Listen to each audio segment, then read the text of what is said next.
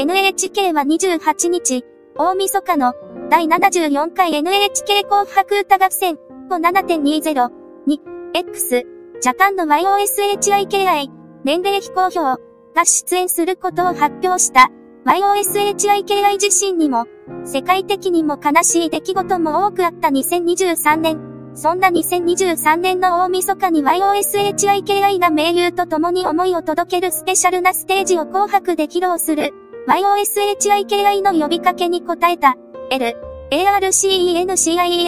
の HYDE、X、ジャパンの PATA、HISPANDARD のナンバーキヒロ、清春、SOPHIA の松岡隆シドの名機、VISPLIP の海、VERSAILLES の KMIJO、LADIESROM の G、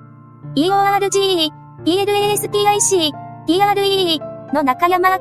アリス Q の HIROTO ら11人の豪華バンドマンたちと思いを一つにし、奇跡のコラボレーションが実現する。昨年の紅白歌合戦は、YOSHIKI、HYDE、SUGIZO、MIYAVI によるスーパーバンド THE、LAST、ROCKSTARS として特別企画で初出場。なお、X、ジャパンやソロとしては過去11回出演している。ネットの声。確かにミュージシャンとしてはすごい人だし伝説のロックスターではあるのだけれど最近の YOSHIKI の活動には、です。ラストロックスターの音楽聴いて気づいてる人もいると思うけどこの人プロデュース能力ないのね。5のいいところ拾ってサウンドまとめられないんだよね。なんかガチャガチャしてるっていうか、大物だからこういう扱いになっちゃうのはしょうがないんだろうけど、ドラムとかピアノで参加してくれた方が良いと私は思います。もったいぶって最後に登場、